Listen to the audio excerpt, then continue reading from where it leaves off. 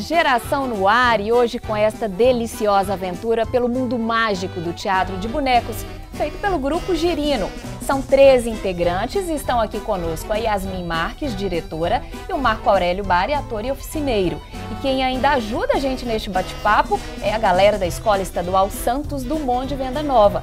Sejam todos muito bem-vindos e a gente vai começar o programa agora conhecendo um pouquinho mais do pessoal que está aqui com a gente. Roda o about aí, diretor.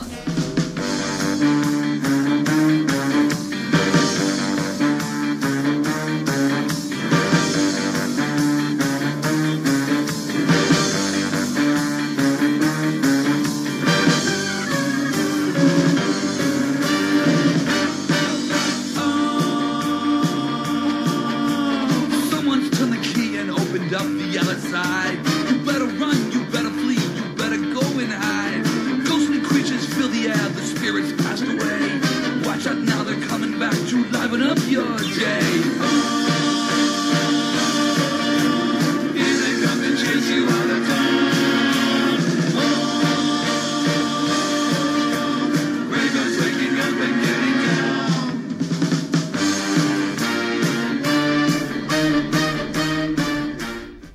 Muito legal, né? Pois é, gente, muito obrigada pela participação aqui no Geração.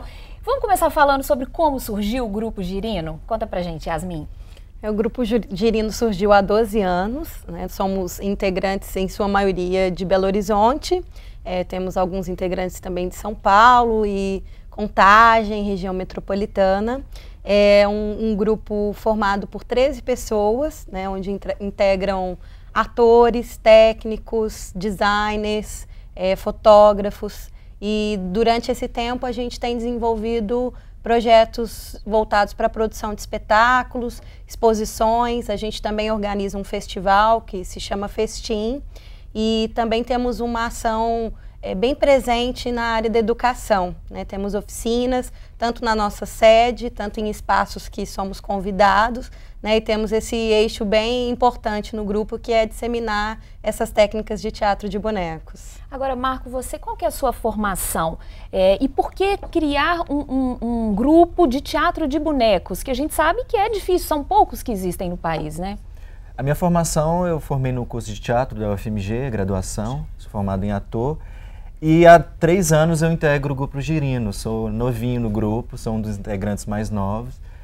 E essa, essa, essa vontade mesmo de experimentar outras, outras áreas do teatro, não só a atuação do ator, mas também a representação de formas animadas, de bonecos, de teatro de sombras. Isso dá um enriquecimento na carreira do ator para experimentar novas técnicas, novas formas de se apresentar.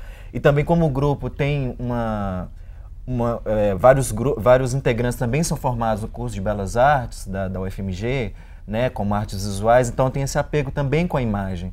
Então por isso que tem essa questão muito do teatro de imagem, de boneco, de animação. E a gente tem aqui entre os estudantes vários que são é, alunos também de cursos de teatro, né? E o João ali, que quer ser artista também, já até falou que tem uma curiosidade, né? Conta pra gente, João. Eu gostaria de saber por que o nome do grupo é Girino e se tem, tipo assim, uma peça específica sobre esse tema. Hum, boa pergunta. é o grupo Girino, ele ele tem esse nome porque é um conceito muito forte dentro da companhia, a questão da metamorfose, né, da transformação, do que é uma coisa, é uma forma, é um objeto e ele vai se transformando, né, e, e gerando processos, né, de transformação. Então, não necessariamente, às vezes a gente é, tem muito essa pergunta, né? O grupo girino vai virar sapo algum dia? a gente fala não. Porque é justamente esse meio do caminho, esse processo, né, essas descobertas. Né? Então, é um grupo que está em constante processo, em constante mudança, né, em constante descobrimento mesmo. Então, a, a, a, ideia do, do girino, né, o girino representa esse símbolo. Eu queria que vocês falassem um pouquinho do que vocês trouxeram aqui dos bonecos e explicassem essas técnicas diferentes que vocês utilizam lá no grupo. Uhum.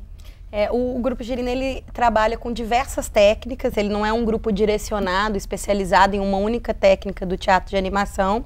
E a gente trouxe né, um, uma série de técnicas para mostrar para vocês, né? São técnicas de boneco de vara. Pode pegar para gente isso, Yasmin. Vou mostrar aqui para vocês. Ele é um boneco que ele se chama de vara porque ele é conduzido por uma vara central que fica no eixo do boneco e aqui a gente também tem duas varas nas mãos, né? Ele pode ser um boneco de uma pessoa, mas ele fica a manipulação fica mais rica quando tem dois manipuladores, um no eixo, né, e um nos braços do boneco. E vocês que constroem esses bonecos também, né? Isso, nós temos um ateliê aqui em Belo Horizonte, que é um ateliê de produção, é, onde a gente constrói, né, a partir desde o projeto, do projeto artístico, do projeto técnico e vários outros processos das, das artes plásticas, a marcenaria, revestimento. Esse, por exemplo, que você pegou, esse é o quê? Madeira? Esse daqui a gente utiliza PVC, ele, ele é todo estruturado em PVC.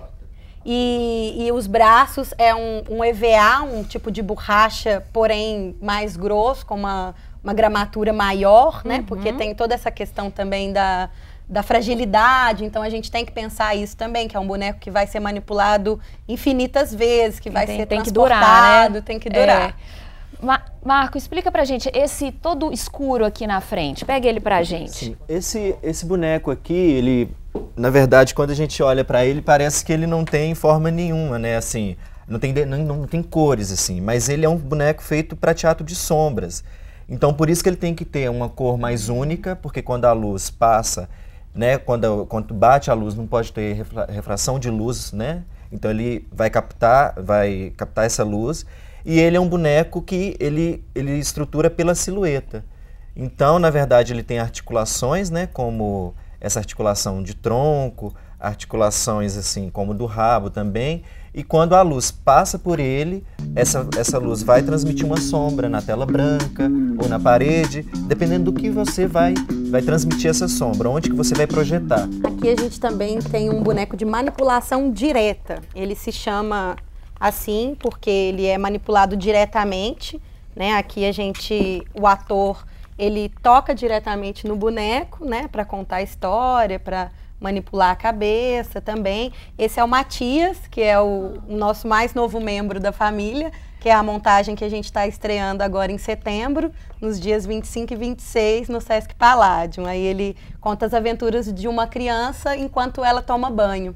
Aqui, por exemplo, a gente tem um boneco de cinco fios, mas as marionetes podem ter até 30, 50 fios. E aí, às vezes, várias pessoas manipulando ali ao mesmo tempo. Não várias pessoas. É? A, essa, esse é um, uma parte do boneco de fio que chama cruz. Então, às vezes, essas cruzes são muito elaboradas, né? São cruzes que acoplam outras cruzes. Aqui a gente tem um acoplamento bem simples, ó, aquela que para a cabecinha do cachorro, então a gente acopla ela aqui, mas tem cruzes extremamente elaboradas, prolongamento de cruz, que às vezes uma pessoa apenas, com bastante treinamento, consegue e para a gente encerrar, é, é, fala para gente desses de aquarela, esses grandes aí, que é do Pequeno Príncipe, né? Isso. né? Isso, o Pequeno Príncipe gente, é, um, é, um, espetáculo que a técnica utilizada é, são, a, são ilustrações, aquarelas, e os bonecos são bidimensionais, eles não são tridimensionais como esses outros.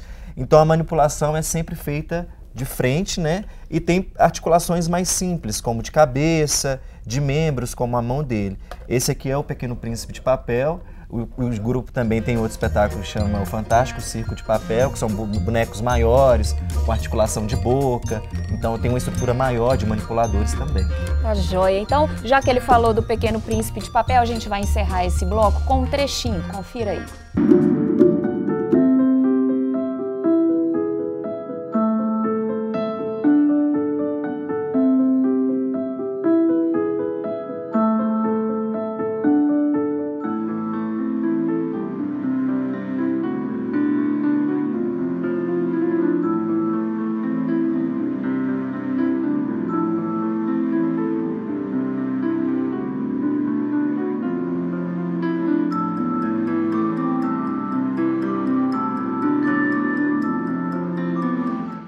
Primeiramente, eu gostaria de agradecer a todos vocês que aceitaram o convite para assistir essa palestra. A minha pesquisa começou com estudos sobre a metamorfose e a condição humana.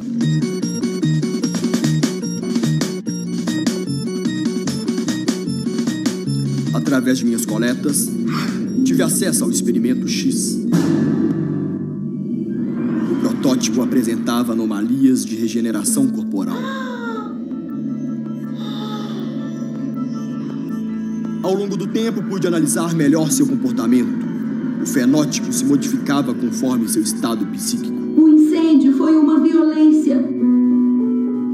Fogo, fogo. Bacana demais, né? Nesse espetáculo vocês mostram que o grupo vai muito além desses bonecos que a gente está vendo aqui. Como o Marco falou no bloco anterior, tem muito essa questão da imagem, do vídeo, né?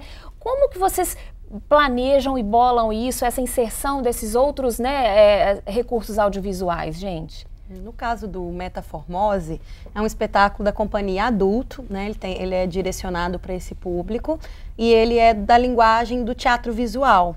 Né? Ele veio a partir, né, a concepção dele veio a partir de uma obra do Leminski, do Paulo Leminski, que tem o mesmo nome, Metaformose, e a partir disso, a partir de é, ele faz alguns recortes de personagens mitológicos que também sofreram metamorfose e a partir dessa, desse estímulo a gente desenvolveu esse trabalho, né, dessa obra literária e também de imagens.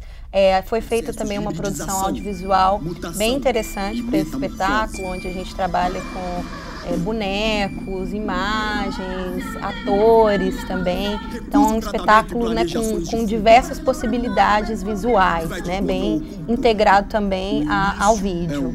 Você falou, Marco, no bloco anterior do Teatro de Sombras, que às vezes vocês fazem projeções no espaço público, né? Fachadas de prédios. Sim. Qual que é a reação do público diante disso, assim?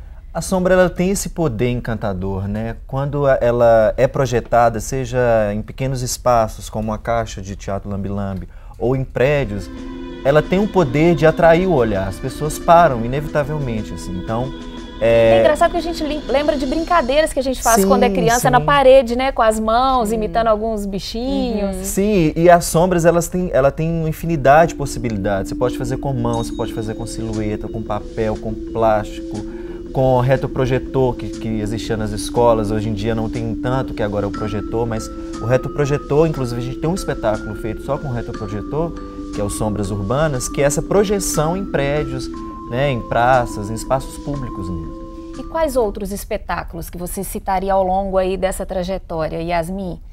A gente trabalha com o teatro de papel, né, onde né, durante alguns anos de pesquisa a gente desenvolveu é o Fantástico Circo de Papel, que é um espetáculo bem interessante, que tem uma cenografia toda com uma estética do papel, né? Os bonecos também seguem essa, essa materialidade, figurino, perucas, adereços, tudo trabalhando com papel. Espetáculos de teatro lambi-lambi, que é uma linguagem que a gente abraça muito na companhia.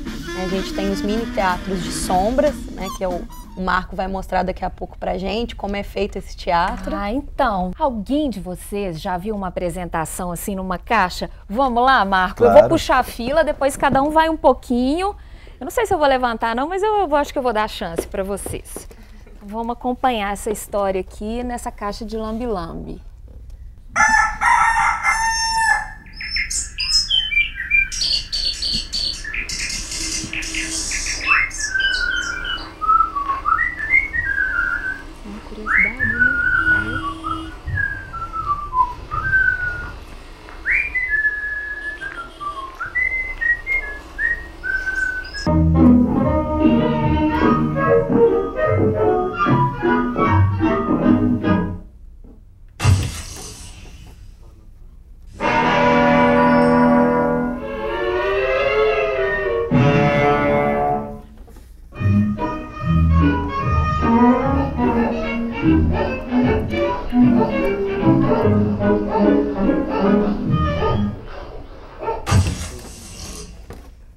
Mm-hmm.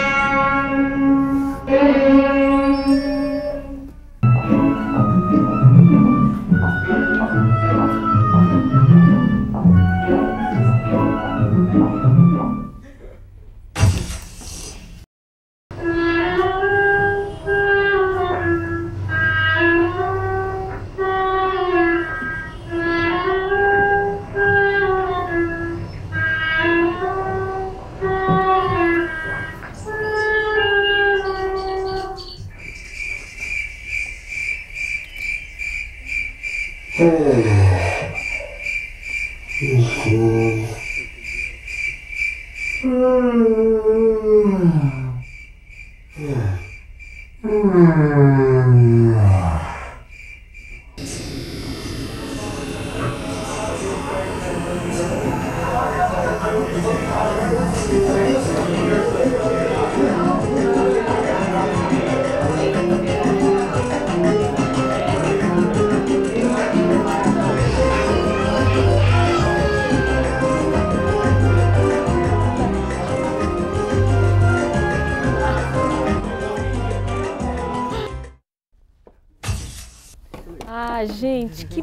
bacana, hein? Não dá vontade de ver a história toda, né? O que vocês percebem, assim, como atores, dessa, dessa essa experimentação, assim? É, é muito mais pessoal, né?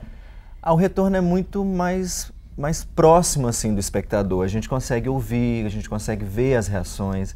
Então, isso gera um, um contato melhor com o espectador, é, para ouvir críticas, para ouvir retorno, feedback do que, que é o espetáculo. Parece que é só para você, realmente, ele você entra no Sim. mundo, assim, É né? compartilhar um segredo com o espectador, né? É muito isso, assim, é muito íntimo. É como se você estivesse contando uma história única para aquele espectador. Eu gostaria de saber como vocês lidam com o público especial.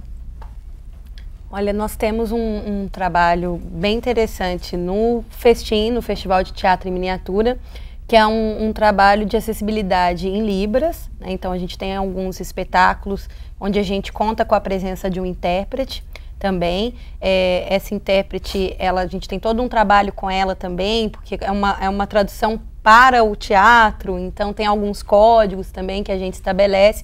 E a gente trabalha com agendamento de público especial. Então, tem as instituições que já são cadastradas no grupo, ou instituições que nos encontram ou que nós encontramos elas, e aí a gente sempre vê o interesse dessas instituições em levar os alunos né, para participar também das programações que a gente oferece. Vocês procuram fazer algum trabalho com jovens, motivar algumas pessoas a querer fazer parte da arte também, é, ajudar algumas pessoas? Uhum.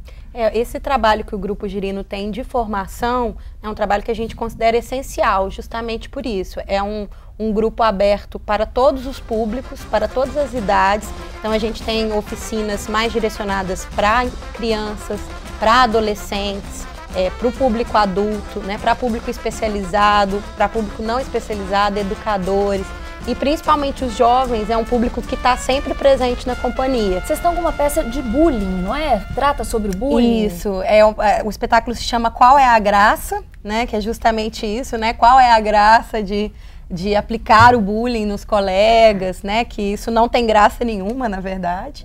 E é um espetáculo que tem uma ampla circulação pelas escolas. Né? A, gente, a gente fala que o Grupo Girino, as escolas, é a cozinha do grupo, que é onde a gente mais está. Né? A gente leva todos os espetáculos para as escolas, principalmente o Qual é a Graça. A gente tem um outro espetáculo também que é o Meu Ambiente. Ah, que inclusive vocês apresentaram aqui no, no Teatro da Assembleia, né? Isso, no- Sim, na programação dos As, né? A gente já voltou aqui nos As pela segunda vez, o Pequeno Príncipe de Papel também já esteve. Então, já que a gente falou do meio, meio, meio, Meio ambiente, ambiente. né? A gente vai encerrar esse bloco com um trechinho dele e no próximo a gente vai falar da revista Anima e do festim que eles produzem também.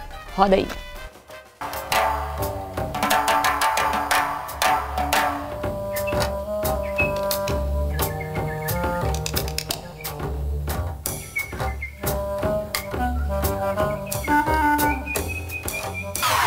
Atenção, acaba de chegar uma notícia. Um empresário acaba de comprar a floresta e está planejando um novo negócio na região. Este terreno vai ser ótimo para plantar eucaliptos.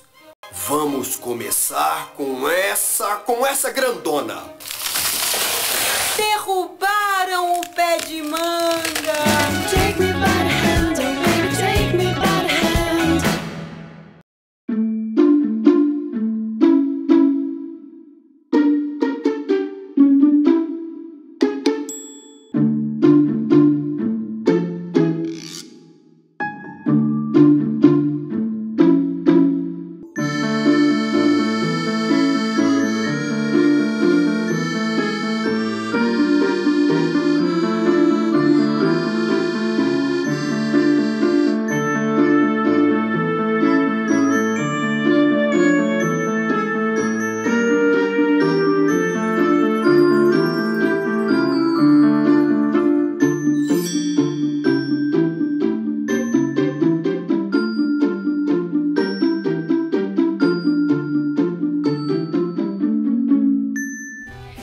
Desde 2012, o Grupo Girino publica a revista Anima e produz um dos mais importantes festivais de teatro de miniatura do país, o Festim, que recebeu mais de 80 espetáculos nas técnicas de teatro lambi-lambi e teatro em miniatura.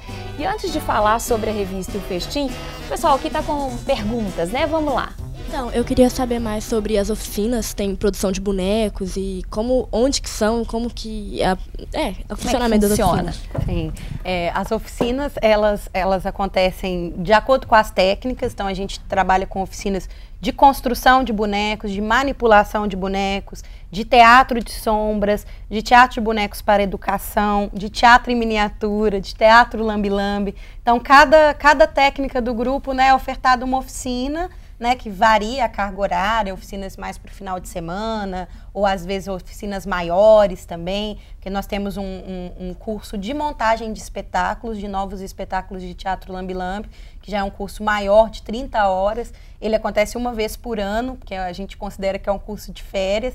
E aí é bem interessante também esse desdobramento desse curso, porque a gente teve vários espetáculos de teatro Lambi Lambi sendo formados a partir dele. Né? Então, uma dica que a gente dá né, que vocês acompanhem o Facebook do grupo, o site também, Instagram. A gente tem também o e-mail, que a gente tem a newsletter, onde a gente dispara as nossas notícias mensais. E aí, cada mês, né, tem uma agenda, tem uma oficina no espaço ou no nosso próprio espaço. E vocês acompanham direitinho, né, para vocês estarem com a gente também. É, vocês falaram que está desde 2012, né, com esse grupo. E eu gostaria de saber na opinião de vocês, qual é o tipo de apresentação que mais arranca o suspiro das pessoas, que as pessoas se sentem mais impressionadas?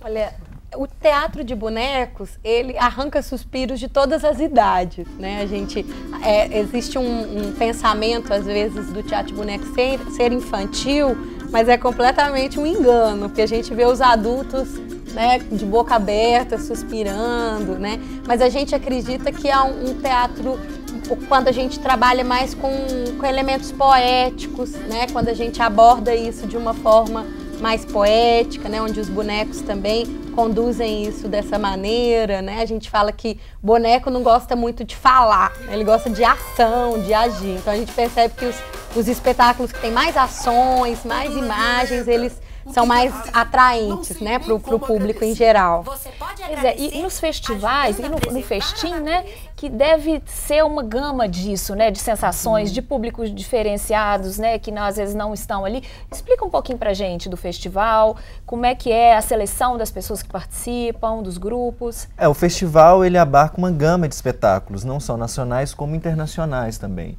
Isso possibilita que a gente, não só do grupo, como os participantes e o, público, possa conhecer novas técnicas, né? Porque o teatro lambi-lambi, ele não é só de sombras, ele pode ser de boneco, pode ser de objetos, né? Então tem uma gama de variedades de formas. Então você acaba aprendendo muito e encontrando essas novas formas para servir também de inspiração para criar as nossas próprias caixas. Deve haver um intercâmbio impressionante Sim. entre os, os, artistas, né?